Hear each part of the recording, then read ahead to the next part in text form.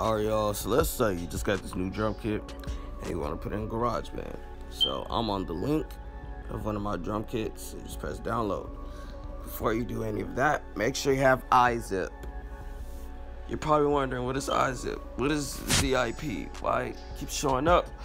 Well, that's that's basically it compresses a lot of files into one, so it's easier to share over the internet.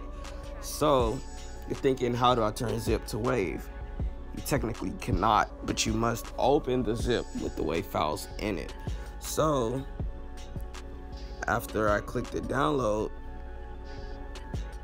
and you have iZip already, it'll say open the iZip. Tap open the iZip. We'll ask you to extract all files. You press OK.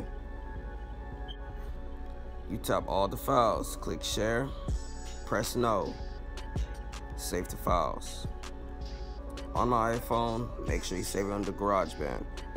Add. So now, all the sounds that was in the drum kit, you get you can get in GarageBand easily.